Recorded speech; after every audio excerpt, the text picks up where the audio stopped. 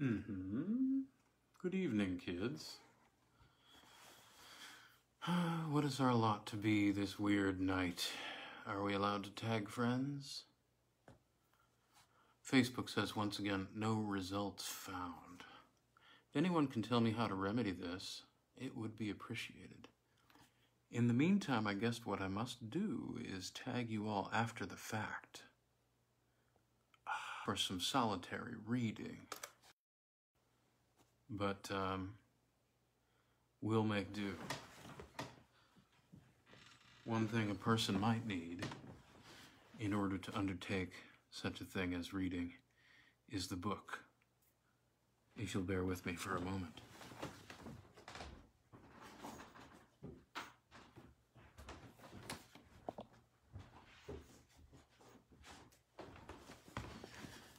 Yeah, so weird fiction lovers. Good evening. We've got just this and one more installment of The House on the Borderland by William Hope Hodgson. Uh, from there, I've got, got some special stuff in store for you, I believe. Um, also, if you're enjoying this, you might actually enjoy the lighter fare that I offer in the mornings. George MacDonald, around 7 a.m. or so, Eastern Standard Time. Um, very thoughtful fairy tales with a weird and sometimes dark bent. Um, a lot of humanity and humor in there. Very different from this, and yet um, not so far. All right, William Hope Hodgson's The House on the Borderland.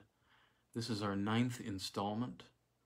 Um, tomorrow night we'll finish this up and move on into some other proto weird, some shorter tales. I don't want to do 10 installments again right away.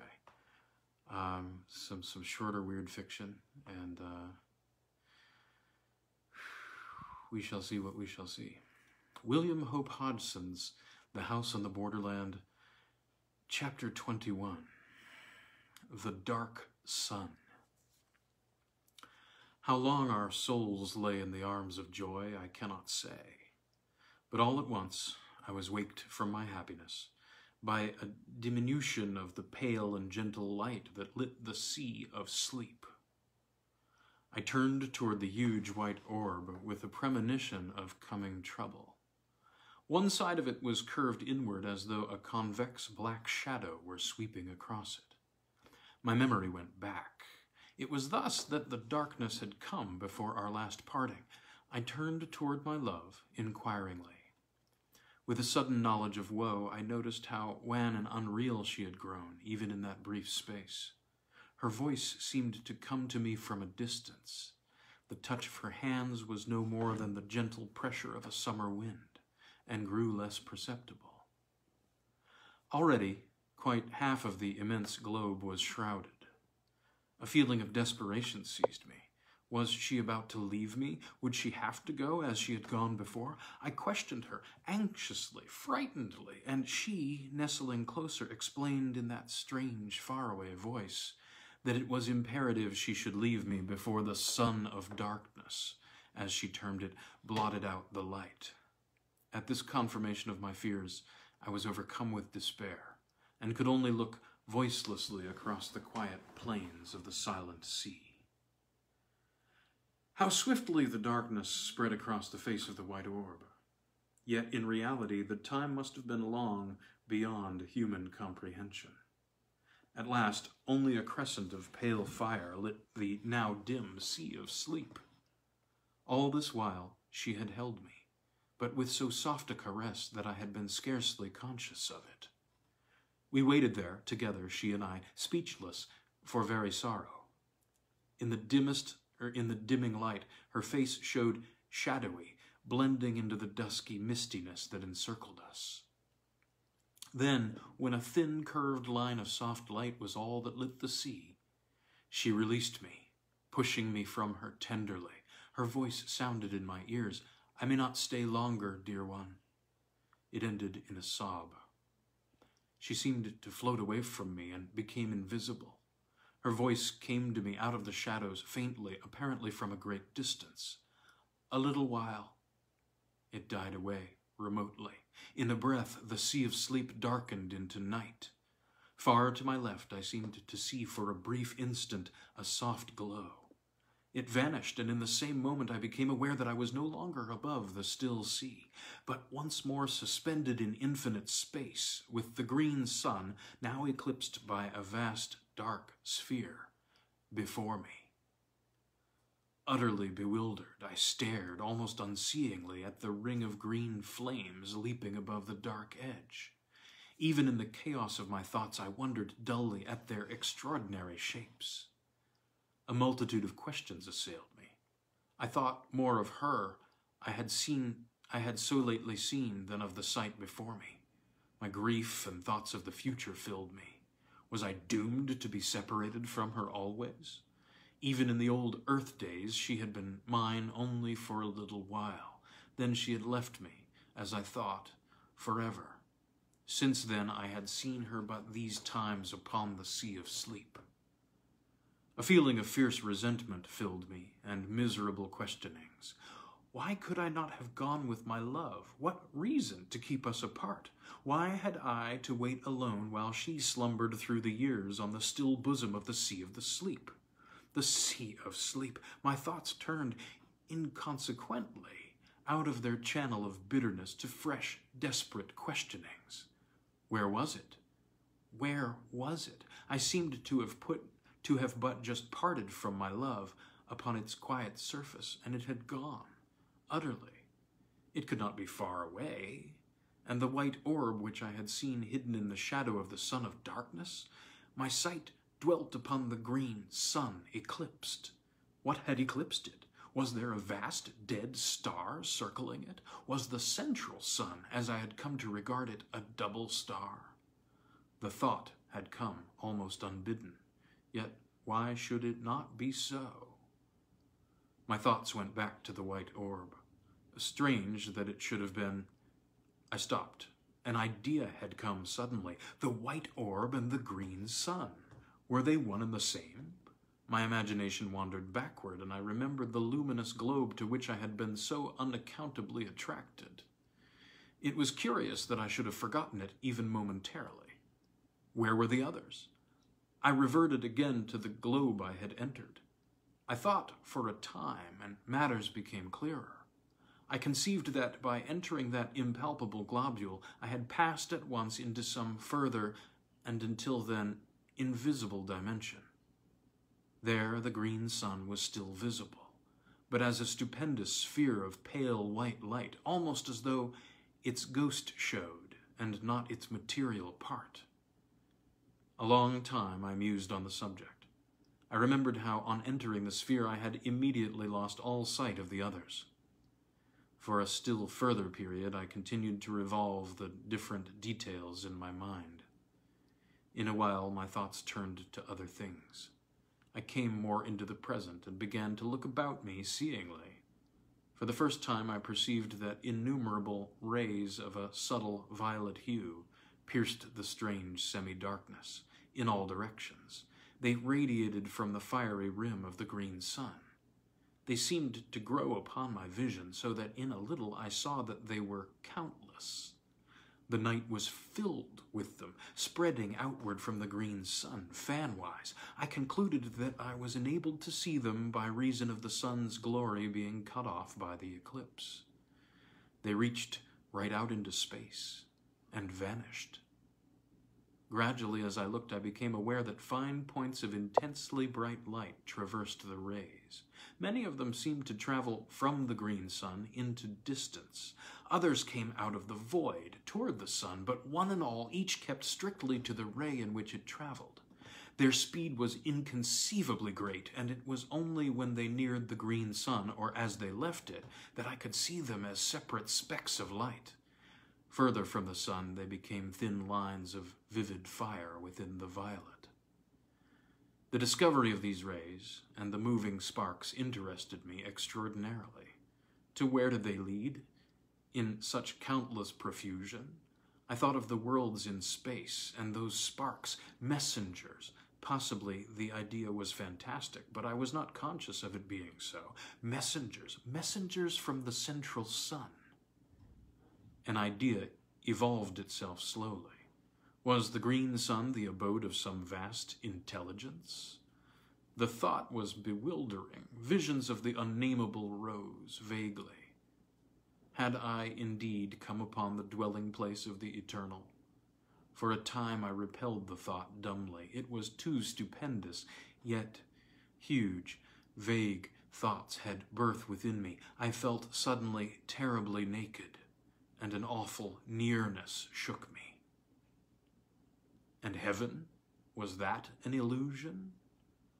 My thoughts came and went erratically, the sea of sleep, and she, heaven. I came back with a bound to the present. Somewhere out of the void behind me there rushed an immense dark body, huge and silent. It was a dead star, hurling onward to the burying place of stars. It drove between me and the central suns, blotting them out from my vision and plunging me into an impenetrable night. An age, and I saw again the violet rays. A great while later, aeons it may have been, a circular glow grew in the sky ahead, and I saw the edge of the receding star show darkly against it. Thus I knew that it was nearing the central suns. Presently I saw the bright ring of the green sun show plainly against the night. The star had passed into the shadow of the dead sun. After that I just waited. The strange years went slowly, and ever I watched intently. The thing I had expected came at last, suddenly, awfully, a vast flare of dazzling light a streaming burst of white flame across the dark void. For an indefinite while, it soared outward, a gigantic mushroom of fire. It ceased to grow, then as time went by, it began to sink backward slowly. I saw now that it came from a huge glowing spot near the center of the dark sun. Mighty flames still soared outward from this, yet, spite of its size, the grave of the star was no more than the shining of Jupiter upon the face of an ocean, when compared with the inconceivable mass of the dead sun. I may remark here, once more, that no words will ever convey to the imagination the enormous bulk of the two central suns.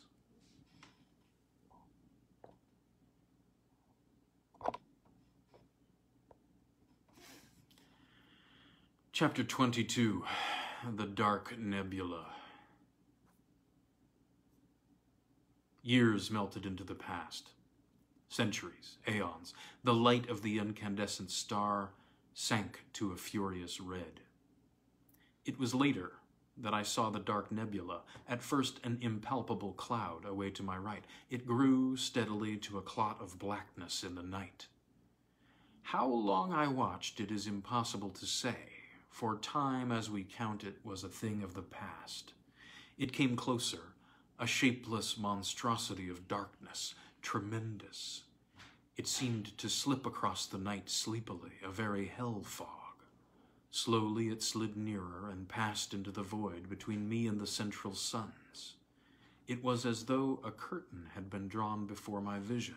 A strange tremor of fear took me, and a fresh sense of wonder. The green twilight that had reigned for so many millions of years had now given place to impenetrable gloom. Motionless, I peered about me. A century fled, and it seemed to me that I detected occasional dull glows of red passing me at intervals. Earnestly I gazed and presently seemed to see circular masses that showed muddily red within the clouded blackness. They appeared to be growing out of the nebulous murk. A while, and they became plainer to my accustomed vision. I could see them now with a fair amount of distinctness, ruddy tinged spheres, similar in size to the luminous globes that I had seen so long previously. They floated past me, continually Gradually, a peculiar uneasiness seized me. I became aware of a growing feeling of repugnance and dread. It was directed against those passing orbs, and seemed born of intuitive knowledge rather than of any real cause or reason. Some of the passing globes were brighter than others, and it was from one of these that a face looked suddenly. A face, human in its outline, but so tortured with woe that I stared, aghast. I had not thought there was such sorrow as I saw there. I was conscious of an added sense of pain on perceiving that the eyes, which glared so wildly, were sightless. A while longer I saw it, then it had passed on into the surrounding gloom. After this, I saw others, all wearing that look of hopeless sorrow, and blind. A long time went by, and I became aware that I was nearer to the orbs than I had been. At this I grew uneasy, though I was less in fear of those strange globules than I had been before seeing their sorrowful inhabitants, for sympathy had tempered my fear. Later, there was no doubt but that I was being carried closer to the red spheres, and presently I floated among them. In a while, I perceived one bearing down upon me. I was helpless to move from its path. In a minute, it seemed, it was upon me, and I was submerged in a deep red mist. This cleared, and I stared confusedly across the immense breadth of the plain of silence. It appeared just as I had first seen it. I was moving forward steadily across its surface. Away ahead shone the vast blood-red ring that lit the place. All around was spread the extraordinary desolation of stillness that had so impressed me during my previous wanderings across its starkness. Presently I saw, rising up into the ruddy gloom, the distant peaks of the mighty amphitheater of mountains, where untold ages before I had been shown my first glimpse of the terrors that underlie many things, and where, vast and silent, watched by a thousand mute gods, stands the replica of this house of mysteries, this house that I had seen swallowed up in that hellfire ere the earth had kissed the sun, and vanished forever. Though I could see the crests of the mountain amphitheater, yet it was a great while before their lower portions became visible. Possibly this was due to the strange ruddy haze that seemed to cling to the surface of the plain. However, be this as it may, I saw them at last. In a still further space of time, I had come so close to the mountains that they appeared to overhang me. Presently I saw the great rift open before me, and I drifted into it, without volition on my part.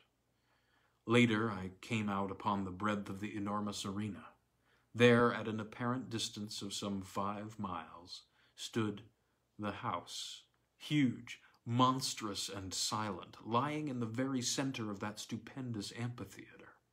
So far as I could see, it had not altered in any way, but looked as though it were only yesterday that I had seen it. Around, the grim, dark mountains frowned down upon me from their lofty silences. Far to my right, Away up among inaccessible peaks loomed the enormous bulk of the great beast god. Higher, I saw the hideous form of the dread goddess rising up through the red gloom, thousands of fathoms above me. To the left I made out the monstrous eyeless thing, gray and inscrutable. Further off, reclining on its lofty ledge, the livid ghoul shape showed a splash of sinister color among the dark mountains. Slowly, I moved out across the great arena, floating. As I went, I made out the dim forms of many of the other lurking horrors that peopled those supreme heights. Gradually, I neared the house, and my thoughts flashed back across the abyss of years. I remembered the dread specter of the place. A short while passed, and I saw that I was being wafted directly toward the enormous mass of that silent building. About this time I became aware in an indifferent sort of way of a growing sense of numbness that robbed me of the fear which I should otherwise have felt on approaching that awesome pile. As it was, I viewed it calmly, much as a man views calamity through the haze of his tobacco smoke. In a little while I had come so close to the house as to be able to distinguish many of the details about it. The longer I looked, the more was I confirmed in my long ago impressions of its entire similitude to this strange house. Save in its enormous size, I could find nothing unlike. Suddenly, as I stared, a great feeling of amazement filled me. I had come opposite to that part where the outer door leading into the study is situated. There, lying right across the threshold, lay a great length of coping stone, identical save in size and color with the piece I had dislodged in my fight with the pit creatures. I floated nearer, and my astonishment increased as I noted that the door was broken partly from its hinges, precisely in the manner that my study door had been forced inward by the assaults of the swine things. The sight started a train of thoughts, and I began to race dimly, began to trace dimly that the attack on this house might have a far deeper significance than I had hitherto imagined. I remembered how, long ago, in the old earth days, I had half suspected that in some unexplainable manner this house in which I live was en rapport to use a recognized term, with that other tremendous structure away in the midst of that incomparable plain. Now, however, it began to be borne upon me that I had but vaguely conceived what the realization of my suspicion meant. I began to understand, with a more than human clearness, that the attack I had repelled was in some extraordinary manner connected with an attack upon that strange edifice. With a curious inconsequence, my thoughts abruptly left the matter to dwell wonderingly upon the peculiar material out of which the house was constructed. It was, as I have mentioned earlier, of a deep green color. Yet now that I had come so close to it, I perceived that it fluctuated at times, though slightly, glowing and fading, much as do the fumes of phosphorus when rubbed upon the hand in the dark.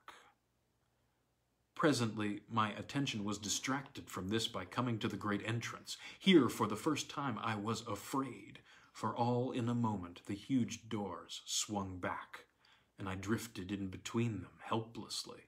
Inside, all was blackness, impalpable. In an instant I had crossed the threshold, and the great doors closed silently, shutting me in that lightless place. For a while I seemed to hang motionless, suspended amid the darkness. Then I became conscious that I was moving again, where I could not tell. Suddenly, far down beneath me, I seemed to hear a murmurous noise of swine laughter. It sank away, and the succeeding silence appeared clogged with horror. Then a door opened somewhere ahead. A white haze of light filtered through, and I floated slowly into a room that seemed strangely familiar. All at once, there came a bewildering screaming noise that deafened me. I saw a blurred vista of visions flaming before my sight. My senses were dazed through the space of an eternal moment. Then my power of seeing came back to me. The dizzy, hazy feeling passed, and I saw clearly.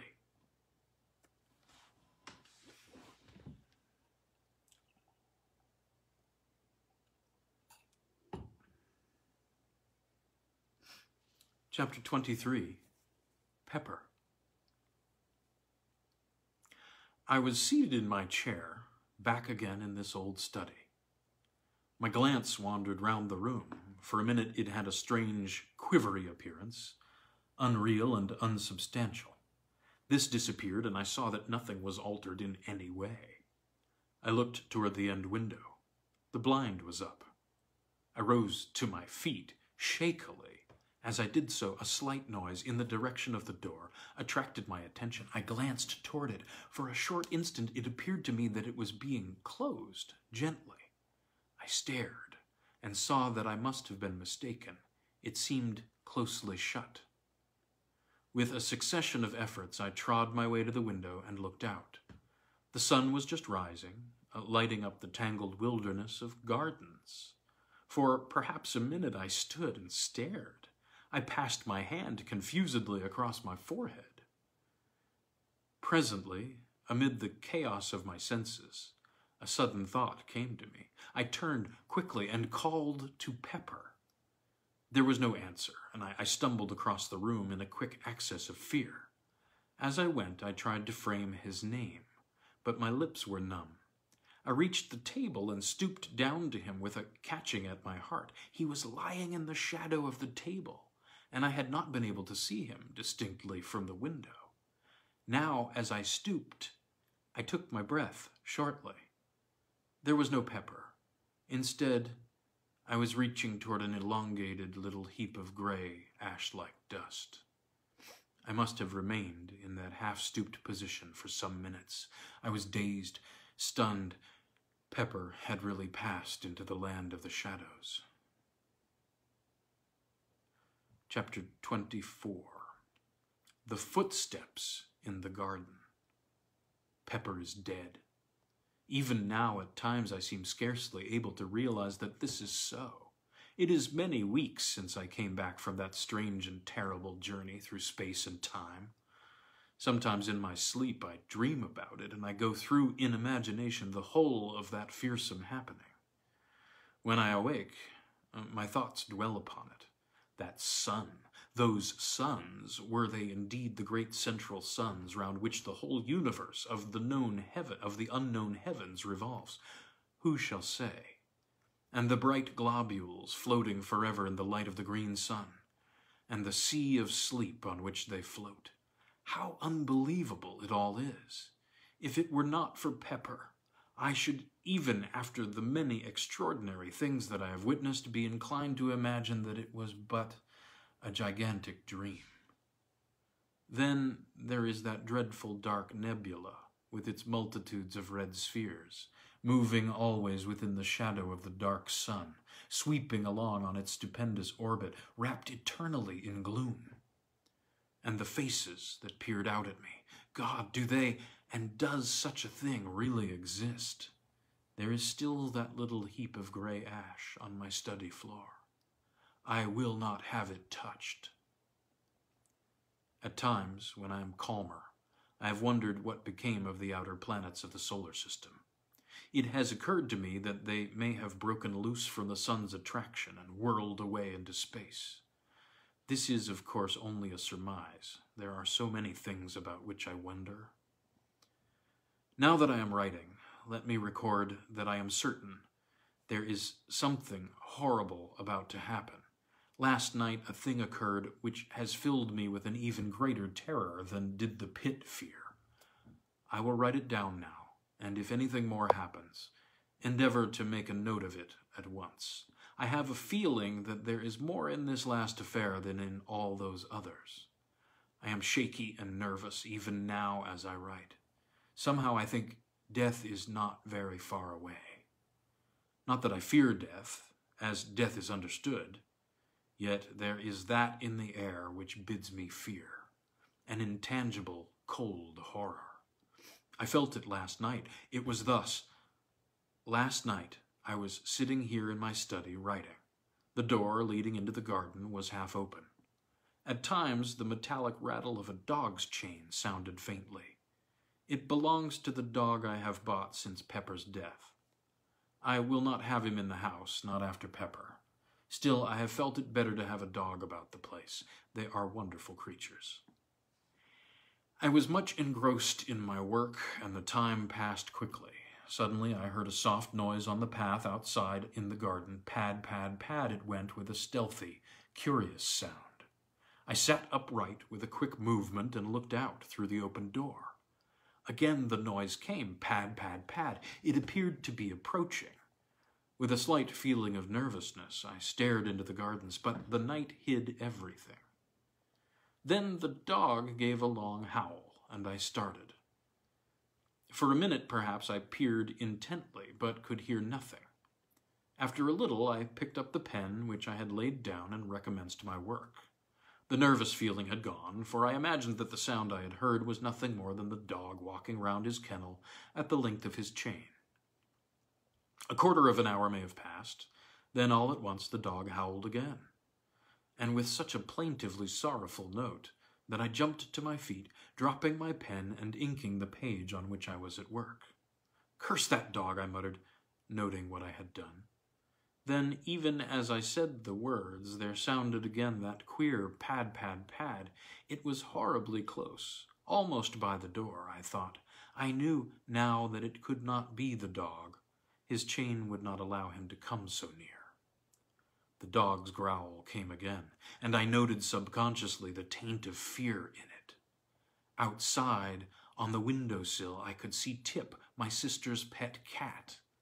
As I looked, it sprang to its feet, its tail swelling visibly. For an instant it stood thus, seeming to stare fixedly at something in the direction of the door. Then, quickly, it began to back along the sill until, reaching the wall at the end, it could go no further. There it stood, rigid as though frozen in an attitude of extraordinary terror. Frightened and puzzled, I seized a stick from the corner and went toward the door silently. Taking one of the candles with me, I had come to within a few paces of it when suddenly a peculiar sense of fear thrilled through me, a fear palpitant and real, whence I knew not, nor why. So, so great was the feeling of terror that I wasted no time, but retreated straight away, walking backward and keeping my gaze fearfully on the door. I would have given much to rush at it, fling it to, and shoot the bolts, for I have had it repaired and strengthened, so that now it is far stronger than ever it has been. Like Tip, I continued my almost unconscious progress backward until the wall brought me up. At that, I started nervously and glanced round apprehensively. As I did so, my eyes dwelt momentarily on the rack of firearms, and I took a step toward them, but stopped, with a curious feeling that they would be needless. Outside in the gardens, the dog moaned strangely. Suddenly, from the cat, there came a fierce, long screech. I glanced jerkily in its direction. Something luminous and ghostly encircled it and grew upon my vision. It resolved into a glowing hand, transparent, with a lambent greenish flame flickering over it. The cat gave a last awful caterwaul, and I saw it smoke and blaze. My breath came with a gasp, and I leant against the wall.